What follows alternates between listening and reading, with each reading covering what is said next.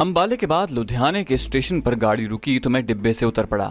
ڈبے میں بے حد رش تھا اور میں ان مسافروں میں بالکل پھنس کر بیٹھا ہوا تھا۔ میں نے سوچا کہ کسی دوسرے ڈبے میں جا کر بیٹھنا چاہیے۔ اس طرح بیٹھے بیٹھے تو میری ٹانگیں اکڑ جائیں گی۔ پلیٹ فارم پر اترا تو دیکھا کہ ٹرین کے ایک ڈبے میں ڈاک کے بڑے بڑے تھیلے تھے۔ سامنے اخبار کا سٹال تھا۔ سوچا کوئی اخبار لے کر مقبوضہ کشمیر کے بارے میں تازہ ترین صورتحال معلوم کرنی چاہیے۔ سٹال پر دلی سے شائع ہونے والے اردو کے دو ایک اخبار اور ہندی، گرمکھی اور انگریزی کے اخبار پڑے تھے۔ میں نے انگریزی کا ایک اخبار اٹھا کر اس کا ورک الٹا تو میرا اوپر کا سانس اوپر اور نیچے کا نیچے۔ نیچے رہ گیا۔ اخبار میں میری تصویر کے ساتھ اشتہار چھپا ہوا تھا، جس میں میری گرفتاری کے لیے انعام کا اعلان بھی تھا۔ میں نے اخبار وہیں تہ کر کے رکھ دیا۔ دوسرا ہندی کا اخبار کھول کر دیکھا۔ اس میں بھی میری تصویر چھپی ہوئی تھی۔ یہ تصویر میرے بالکل موجودہ حلیے کی تھی اور مجھے فوراً پہچانا جا سکتا تھا۔ میں چپکے سے وہاں سے کھسک کر ٹرین کی طرف بڑھا کہ کسی نے پیچھے سے مجھے آواز دی۔ او بابو، ذرا ادھر دیکھو۔ میں نے پلٹ کر دیکھا، ایک سکھ فوجی مجھے گھور رہا تھا۔ اس کے ہاتھ میں اخبار تھا۔ اس نے اخبار میں میری تصویر دیکھ لی تھی۔ مجھے دیکھتے ہی اس کا ہاتھ اپنی ریوالور کی طرف بڑھا۔ خبردار، یہیں کھڑے رہو، بھاگے تو گولی مار دوں گا۔ لیکن میں وہاں کھڑا نہیں رہ سکتا تھا۔ مجھے وہاں سے بھاگنا تھا اور جس طرف منہ اٹھے اسی طرف بھاگنا تھا اور بھاگتے چلے جانا تھا۔ ابھی سکھ فوجی جو کیپٹن کے عہدے کا فوجی تھا، ہولسٹر میں سے ریوالور نکال ہی رہا تھا کہ میں ٹرین کے ڈبے میں گھس گیا اور مسافروں کے اوپر سے چھلانگے لگاتا ڈبے کے دوسرے دروازے میں سے نیچے چھلانگ لگا کر ریلوے لائن کے جنگلے کے ساتھ ساتھ بھاگنے لگا۔ پیچھے سے ایسی آوازیں آنے لگی تھی جیسے کچھ لوگ مجھے پکڑنے کے لیے دوڑ رہے ہیں، مگر میں پیچھے مڑ کر نہیں دیکھ سکتا تھا۔ میں بے تحاشا بھاگ رہا تھا۔ اس دوران میں دو تین آدمیوں سے ٹکرایا۔ سکھ فوجی میرے پیچھے دوڑ رہا تھا۔ کچھ اور لوگ بھی میرے پیچھے دوڑ رہے تھے۔ مجھے ان کے پکڑ لو، پاکستانی جاسوس ہے کی آوازیں آ رہی تھیں۔ سکھ فوجی مجھ پر پیچھے سے فائر نہیں کر سکتا تھا۔ پلیٹ فارم پر کافی مسافر تھے۔ پلیٹ فارم ختم ہو گیا۔ سامنے ریلوے یارڈ آ گیا جہاں ریل کی پٹریوں کا جال بچھا ہوا تھا۔ میں جس رفتار سے بھاگ رہا تھا، میرا دماغ اس سے دگنی رفتار سے سوچ رہا تھا کہ مجھے ان لوگوں سے اپنے آپ کو کیسے بچانا ہے۔ ریل کی پٹریوں میں میں آسانی سے نہیں دوڑ سکتا تھا۔ وہاں لوگ بھی نہیں تھے۔ سکھ فوجی تربیت یافتہ کیپٹن تھا۔ وہ بڑی آسانی سے پستول کا فائر کر کے مجھے گرا سکتا تھا۔ جہاں پلیٹ فارم ختم ہوا، وہاں مجھے بائیں جانب مال گاڑی کا ڈبا کھڑا نظر آیا۔ میں تیزی سے اس ڈبے کے پیچھے ہو گیا۔ سامنے ریلوے گودام کا سہن تھا، جہاں ٹرک پر سے سامان اتارا جا رہا تھا۔ پکڑ لو پاکستانی جاسوس ہے کہ آوازوں نے میرے لیے بے حد مشکل پیدا کر دی تھی۔ جیسے ہی میں گودام کے سہن میں داخل ہوا، مزدوروں نے پلٹ کر میری طرف دیکھا اور مجھے پکڑنے کے لیے بازو پھیلا دیے۔ این اسی لمحے پستول کے دو فائر ہوئے۔ یہ ہوائی فائر ہی ہو سکتے تھے۔ سکھ فوجی مزدوروں کے ہوتے ہوئے مجھ پر فائر نہیں کر سکتا تھا۔ میں مزدوروں کو دھکے دے کر نکل گیا۔ ایک سکھ مزدور میرے پیچھے دوڑا۔ میں گودام کے پیچھے نکل آیا۔ یہاں چار پانچ فٹ اونچی دیوار تھی۔ میں نے دیوار پر چڑھ کر دوسری طرف چھلانگ لگا دی۔ میں اسٹیشن کے باہر سڑک پر آ گیا۔ مجھے بہت سے تانگے اور رکشے کھڑے نظر آئے۔ اتنا وقت نہیں تھا کہ میں رکشے میں گھس کر ڈرائیور سے کہتا کہ چلو، لوگوں کا شور میرے پیچھے پیچھے آ رہا تھا۔ میں سڑک پار کرنے کے لیے دوڑا تو اچانک ایک سکھ اسکوٹر سوار میرے سامنے آ گیا۔ اس نے ایک دم بریک لگا دی۔ میں نے اسے دھکا دے کر اسکوٹر سے گرا دیا۔ اسکوٹر بھی ایک طرف گر پڑا اور اسکوٹر کا انجن چل رہا تھا۔ میں نے انتہائی تیزی سے اسکوٹر کو اٹھایا، اچھل کر اس پر بیٹھا اور ایک دم سے اس کی رفتار تیز کر کے جس طرف اسکوٹر کا منہ تھا، اسی طرف نکل گیا۔ ایک تانگے سے ٹکراتے ٹکراتے بچا۔ میں پوری رفتار سے اسکوٹر بھگائے لیے جا رہا تھا۔ سڑک پر زیادہ ٹریفک نہیں تھی۔ سڑک کے ایک جانب ریلوے لائن کی دیوار تھی جہاں سگنل کے کھمبے نظر آ رہے تھے۔ دوسری طرف سڑک کے کنارے کنارے کھوکھا نما دکانیں تھیں۔ کچھ پتہ نہیں تھا کہ سڑک آگے کس طرف جاتی ہے۔ میں اسکوٹر کو فل سپیڈ پر بھگائے لیے جا رہا تھا۔ اسکوٹر میرا ساتھ دے رہا تھا۔ آگے ریلوے کا پل آ گیا۔ میں نے اسکوٹر کو پل پر ڈالنے سے پہلے ایک لمحے کے لیے پیچھے مڑ کر دیکھا۔ کچھ فاصلے پر ایک رکشا بڑی تیز رفتاری سے بھاگا چلا رہا تھا۔ یقیناً سکھ فوجی اس میں بیٹھا تھا اور اس نے رکشا میرے پیچھے لگا دیا تھا۔ ریلوے پل پر کافی ٹریفک تھا اور دونوں طرف سے سواریاں آ جا رہی تھی میں جتنی تیز وہاں اسکوٹر چلا سکتا تھا، چلاتے ہوئے پل عبور کر گیا۔ دوسری طرف سڑک کی دونوں جانب ہمارے لاہور کے گلبرگ کی طرز کی کوٹیاں بنی ہوئی تھیں۔ میں وہاں سے بھی نکل گیا۔ میں کسی ایسی چھوٹی سڑک یا تنگ راستے کی تلاش میں تھا جہاں سے میرے پیچھے لگا ہوا رکشہ نہ گزر سکے۔ ایک جگہ کوٹھیوں کے عقب میں چھوٹی سی نہر بہ رہی تھی۔ اس کی ایک جانب درخت ہی درخت تھے اور دوسری جانب یعنی نہر کے کنارے اور کوٹھیوں کے پچھواڑوں کے درمیان بڑا تنگ راستہ بنا ہوا تھا۔ میرا سکوٹر وہاں سے گزر سکتا تھا، مگر رکشا نہیں گزر سکتا تھا۔ یہ سوچے بغیر کہ راستہ آگے کس طرف جاتا ہے، میں نے سکوٹر ادھر موڑ دیا۔ یہ غیر ہموار راستہ تھا۔ سکوٹر اچھل اچھل کر چل رہا تھا۔ یہ تنگ راستہ ختم ہوا تو آگے پھر ایک سڑک آ گئی۔ میں نے گردن موڑ کر دیکھا، واقعی ایک رکشا تنگ راستے کے پاس آ کر رکا ہوا تھا۔ کچھ دیر کے لیے میں خطرے سے باہر ہو گیا تھا، لیکن میں دشمنوں کے شہر میں تھا۔ اس شہر کے نشیب و فراز سے واقف بھی نہیں تھا۔ میرے پاکستانی جاسوس ہونے کا اعلان ہو چکا تھا۔ پولیس کو بھی اطلاع مل چکی ہوگی۔ کوئی تعجب نہیں تھا کہ اگلے چوک میں پولیس گھیرا ڈالے موجود ہو۔ مجھے جتنی جلدی ہو سکے اس شہر سے باہر نکل جانا چاہیے تھا۔ میرا رخ مشرق کی طرف تھا۔ کسی زمانے میں لدھیانہ شہر میں مسلمانوں کی بڑی زبردست آبادی تھی۔ اس شہر کے سیاسی، علمی اور دینی بصیرت رکھنے والے عالم فاضل مسلمانوں کی سارے ہندوستان میں دھوم مچی ہوئی تھی۔ کیسے کیسے ادیب، شاعر، سیاسی رہنما اور علماء کرام لدھیانے میں رہا کرتے تھے۔ مسلمانوں کے کلچر اور ثقافت کی لدھیانے شہر کی تمدن پر گہری چھاپ تھی۔ قیام پاکستان کے بعد لدھیانے کے مسلمانوں پر قیامت ٹوٹ پڑی۔ ہندوؤں اور سکھوں نے مسلمانوں کا قتل عام شروع کر دیا اور لدھیانے کی سرزمین زندہ مسلمانوں کے وجود سے محروم ہو گئی۔ اگر لدھیانے میں مسلمان رہ رہے ہوتے تو مجھے کسی نہ کسی مسلمان گھرانے میں پناہ مل سکتی تھی، لیکن تاریخ بدل چکی تھی۔ لدھیانے میں ایک بھی مسلمان گھر نہیں بچا تھا۔ ان کے گھروں کو لوٹ کر نظر آتش کر دیا گیا تھا اور باہر سے ہندو آ کر آباد ہو گئے تھے۔ میرا اسکوٹر سڑک پر بھاگا جا رہا تھا اور میرا دماغ تیزی سے سوچ رہا تھا کہ مجھے کیا کرنا چاہیے۔ اس وقت مجھے کسی ایسی جگہ کی ضرورت تھی جہاں میں کچھ دیر کے لیے چھپ جاؤں۔ کیونکہ شہر کی پولیس نے یقینی طور پر اسٹیشن کے ارد گرد کے علاقے کی ناکہ بندی کر لی تھی اور سڑک پر کسی بھی جگہ لدھیانہ پولیس مجھے پکڑ سکتی تھی۔ ایک پریشانی یہ بھی تھی کہ میں نے ہتھا تھا۔ میرے پاس کوئی پستول وغیرہ بھی نہیں تھی۔ اگر پستول ہوتا بھی تو میں نکل کر سامنے آئی ہوئی شہر کی مسلح پولیس کا مقابلہ نہیں کر سکتا تھا۔ دور سڑک پر مجھے کچھ ٹرک قسم کی گاڑیاں نظر آئیں۔ مجھے ایسے لگا جیسے پولیس نے سڑک روک رکھی ہے۔ میں نے اسکوٹر سڑک سے اتار لیا اور درختوں کے پیچھے آ کر اسکوٹر کو روکا۔ اسے وہیں چھوڑا اور ایک کھیت میں گھس گیا۔ یہ آبادی کے اندر شہر کے دو چار کھیت تھے، جن کے آگے پھر آبادی کے مکان شروع ہو گئے تھے۔ میں دوڑنے کی بجائے کھیت میں تیز قدموں سے چل رہا تھا۔ فصل زیادہ اونچی نہیں تھی اور میری کمر تک آتی تھی۔ میں دو کھیتوں کے درمیان بنی ہوئی پتلی پگڈنڈی پر چل رہا تھا۔ کھیت ختم ہو گئے۔ رات کا وقت ہوتا تو اندھیرا مجھے چھپا لیتا، مگر یہ دن کا وقت تھا۔ شروع نومبر کا آسمان صاف تھا۔ دھوپ نکلی ہوئی تھی۔ میری تصویر اخباروں میں چھپ چکی تھی۔ کوئی بھی پولیس والا مجھے پہچان سکتا تھا۔ یہ بات بھی تھی کہ جو سکھ میرے پیچھے لگا ہوا تھا، وہ فوجی تھا۔ اس نے لدھیانے کی ملٹری پولیس کو بھی ضرور خبر کر دی ہوگی، اور ملٹری پولیس بھی اس علاقے میں میری طرف بڑھ رہی ہوگی۔ میرے لیے کسی جگہ چھپ جانا بہت ضروری تھا، اور چھپنے کے لیے مجھے کوئی ایسی جگہ نظر نہیں آ رہی تھی جہاں کوئی میری مخبری نہ کر سکے۔ میں کھیتوں سے نکل کر ٹالی کے درختوں کے نیچے سے ہو کر گزر رہا تھا کہ اچانک سامنے ایک چھوٹا سا چرچ یعنی گرجا گھر نظر پڑا۔ گرجے کا چھوٹا کچا احاطہ تھا۔ احاطے کے اندر گرجا گھر کی پرانی عمارت تھی۔ اس کا بڑا دروازہ بند تھا۔ مجھے خیال آیا کہ مجھے گرجا گھر کے پادری یعنی فادر کے پاس پناہ مل سکتی ہے۔ عیسائی ہونے کے ناطے فادر میں ہندو سکھوں والا تعصب اور مسلمانوں سے نفرت کا شدید جذبہ نہیں ہوگا۔ اس کا مجھے بھارت کے فرعونوں کے درمیان اپنے قیام کے دوران تجربہ ہو چکا تھا۔ میں جلدی سے چرچ کے احاطے میں داخل ہو گیا۔ ایک طرف چھپر کے نیچے بھینسیں بندھی ہوئی تھیں۔ ایک آدمی ان کے آگے چارہ ڈال رہا تھا۔ اس نے میری طرف بالکل نہ دیکھا اور اپنے کام میں مصروف رہا۔ میں گرجا گھر کے ہال کا دروازہ کھول کر اندر چلا گیا۔ چھوٹا سا ہال کمرہ تھا۔ دو رویا بینچ بچھے تھے۔ سامنے قربان گاہ پر حضرت عیسیٰ علیہ السلام اور حضرت بی بی مریم علیہ السلام کے مجسموں کے سامنے تین چار موم بتیاں جل رہی تھیں۔ کمرہ بالکل خالی تھا۔ میں نے دروازے میں سے جھانک کر باہر دیکھا۔ مجھے دو آدمی باہر سڑک پر ایک طرف کو دوڑتے ہوئے نظر آئے۔ میں نے جلدی سے دروازہ بند کر دیا۔ جن لوگوں سے مجھے خطرہ تھا وہ میرا پیچھا کرتے جہاں تک آ گئے تھے۔ میں خالی بینچوں کے درمیان سے جلدی جلدی چلتا قربان گاہ کی ایک جانب آ کر رک گیا اور سوچنے لگا کہ جہاں سے کس طرف چلا جاؤں۔ قربان گاہ اونچی جگہ پر بنی ہوئی تھی اور اس کے کونے میں ایک چھوٹا سا دروازہ تھا۔ دروازہ کھلا اور ایک پادری صاحب نمودار ہوئے۔ انہوں نے میری طرف دیکھا اور پوچھا، کیا بات ہے بیٹا؟ پادری صاحب کی عمر پچاس کے قریب ہوگی۔ دبلا جسم تھا۔ رنگ سانولا تھا، لمبا چگا پہن رکھا تھا، گلے میں چاندی کی سلیب لٹک رہی تھی۔ سر کے خشخشی بالوں میں سفیدی نمایاں تھی، چہرے پر بڑی شفیق مسکراہٹ تھی۔ میں نے کہا، فادر، کچھ لوگ میرے پیچھے لگے ہوئے ہیں،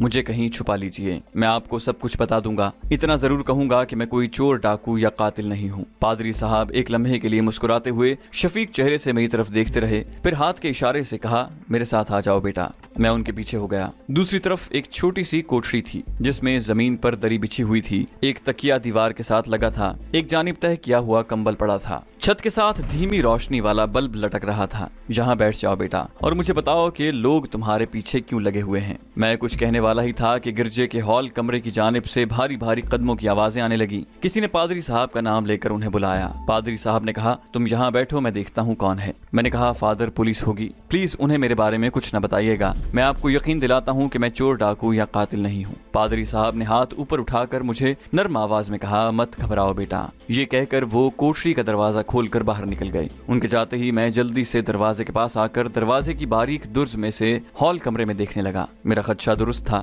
گرجا گھر کے چھوٹے سے ہال کمرے میں پولیس کے آدمی کھڑے ہوئے تھے۔ ان میں تین سکھ سپاہی تھے اور ایک ان کے ساتھ ہندو انسپیکٹر یا تھانے دار تھا۔ وہ ہال کمرے کے دروازے سے کافی آگے آ کر بینچوں کے درمیان کھڑے تھے۔ پادری صاحب قربان گاہ کی سیڑھیاں اتر کر پولیس کے سپاہیوں کے پاس جا کر ان سے باتیں کرنے لگے۔ مجھے ان کی صرف ہلکی ہلکی آوازیں آ رہی تھیں۔ لفظ سمجھ میں نہیں آ رہے تھے۔ میرے دل کی دھڑکن اس وقت ضرور تیز ہو گئی تھی۔ یہ بات صاف ظاہر تھی کہ پولیس پادری صاحب سے میرے بارے میں پوچھ رہی ہوگی۔ اور اگر پادری صاحب پولیس کو بتا دیتے کہ جس پاکستانی کمانڈو کی انہیں تلاش ہے، وہ اندر کوٹری میں چھپا ہوا ہے، تو اس کوٹری میں سے فرار ہونے کا دوسرا کوئی راستہ نہیں تھا۔ اور میرا پکڑا جانا یقینی تھا۔ میں جذبات کی ہیجانی کیفیت کے ساتھ، دروازے کے ساتھ لگا باریک درز میں سے پادری صاحب کو پولیس کے ساتھ باتیں کرتے دیکھ رہا تھا۔ پادری صاحب باتیں کرتے ہوئے تھانے دار کی کسی سوال کا جواب میں نفی میں سر ہلاتے تو میں سمجھ گیا کہ انہوں نے پولیس کو میرے بارے میں نہیں بتایا۔ مجھے کچھ حوصلہ ہوا۔ تھانے دار پادری صاحب سے زور دے کر کچھ کہہ رہا تھا۔ پھر اس نے پادری صاحب سے ہاتھ ملایا، سپاہیوں کو لے کر ہال کمرے سے نکل گیا۔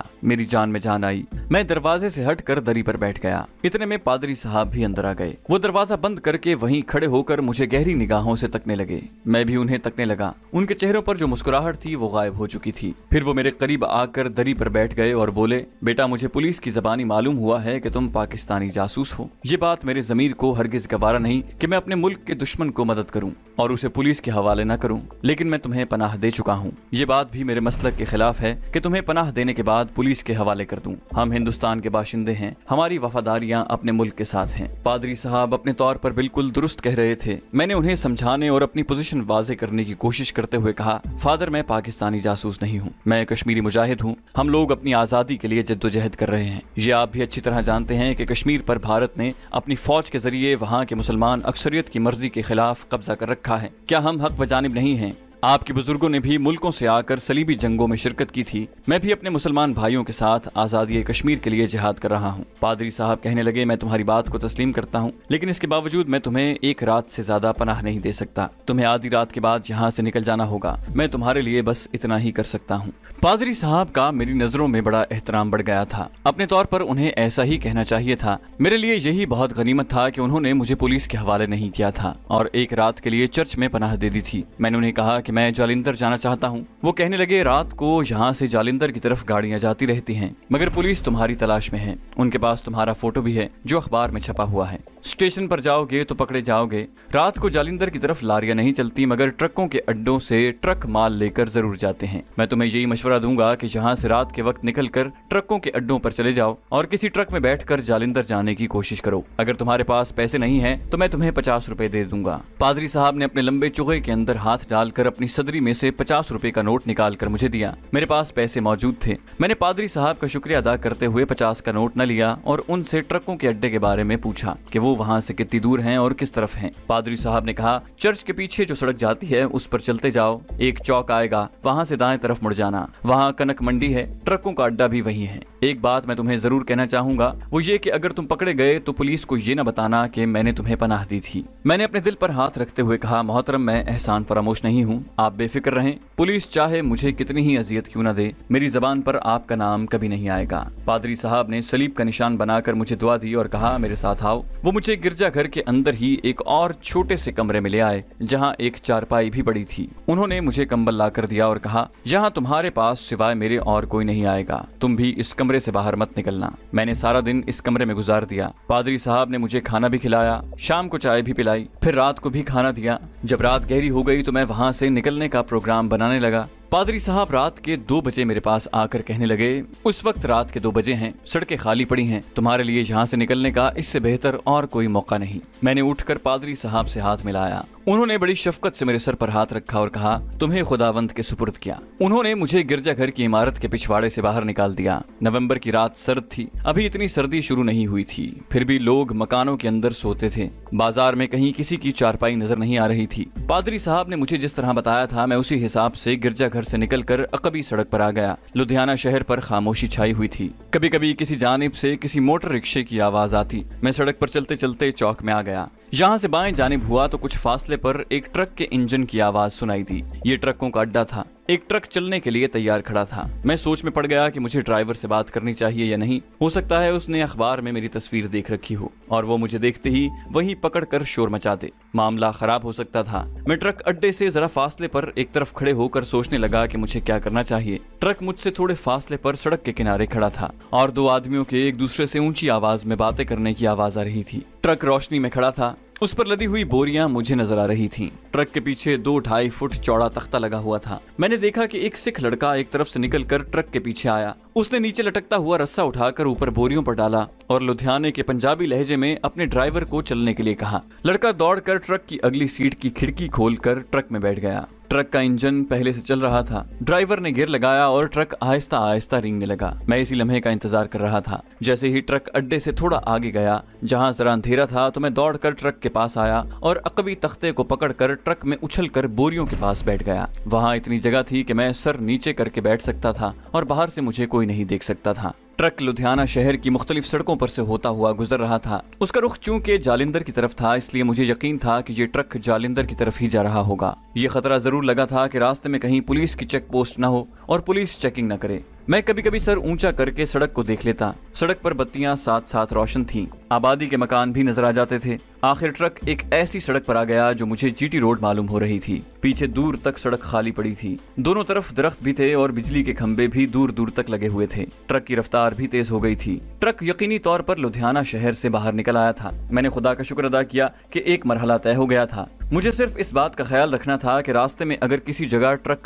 کھڑا ہو جائے تو مجھے ٹرک سے اتر کر ادھر ادھر چھپ جانا تھا اور ٹرک کو دوبارہ چلنے پر دوڑ کر اس میں سوار ہونا تھا۔ ٹرک پر بوریاں کچھ اس طرح اوپر نیچے لدی ہوئی تھیں کہ ان کے اندر چھپنے کی جگہ نہیں تھی۔ ٹرک کافی رفتار سے جا رہا تھا۔ لدھیانے سے جالندر زیادہ دور نہیں ہے۔ میرا خیال ہے اتنا ہی فاصلہ ہے جتنا لاہور سے گجرا والا کا۔ اتنا مجھے معلوم تھا کہ راستے میں پھگواڑا ریلوے اسٹیشن ضرور آتا ہے۔ اس کے بعد جالندر آ جاتا ہے۔ ایک تو سڑک خالی ہونے کی وجہ سے ٹرک کی رفتار تیز تھی۔ دوسرے میں ٹرک کے پیچھے بیٹھا ہوا تھا۔ سرد ہوا کے تھپیڑے میرے اوپر آ رہے تھے اور مجھے سردی محسوس ہونے لگی تھی۔ لیکن میں اس قسم کی سخت جانی کا عادی تھا۔ جیکٹ کے بٹن میں نے گردن تک بند کر لیے تھے اور بوریوں کی اوٹ میں جتنا سرد ہواؤں سے بچ سکتا تھا، بچ کر بیٹھا ہوا تھا۔ ٹرک کافی دیر تک چلتا رہا۔ راستے میں کسی جگہ نہ رکا۔ پولیس کی کوئی چیک پوسٹ بھی نہ آئی۔ میں نے سوچا کہ جالندر شہر میں داخل ہوتے ہی ٹرک سے چھلانگ لگا دوں گا اور ریلوے لائن تلاش کر کے اس پر چلتا ہوا اسٹیشن پر پہنچ جاؤں گا اور وہاں سے ہوشیار پور جانے والی گاڑی میں بیٹھ کر جموں کی طرف نکل جاؤں گا۔ سڑک پر دائیں بائیں آبادی کی روشنیاں نظر آنے لگی